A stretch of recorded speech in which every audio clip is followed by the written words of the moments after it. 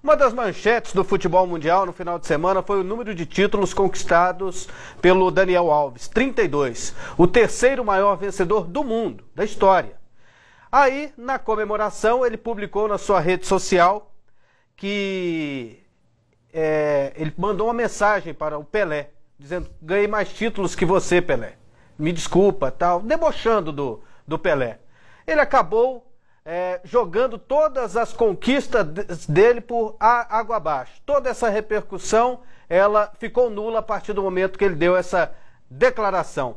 Totalmente indelicada, totalmente fora de propósito.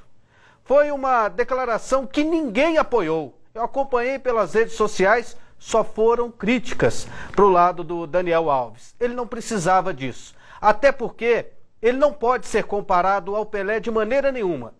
Primeiro que o Daniel Alves nunca ganhou nada com a seleção brasileira.